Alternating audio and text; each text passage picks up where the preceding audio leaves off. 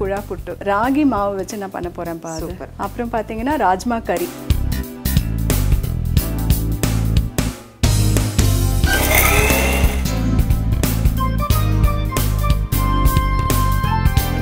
Excellent ma'am ரொம்ப ரொம்ப ரொம்ப டேஸ்டா இருக்கு.